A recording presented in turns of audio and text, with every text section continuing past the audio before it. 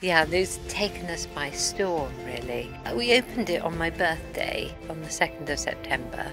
I'll never forget that moment coming down in, the, in a carriage from the castle, and there was 5,000 people outside the gallery, and I just could not believe it. I, it's been a long, long journey getting there, and there's been moments when I thought, oh, Emma, just why are you doing this? You know, why didn't you stick to the sensible brief?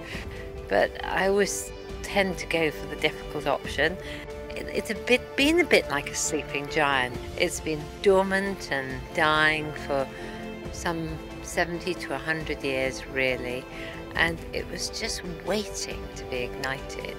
And I just love that people seem to love it.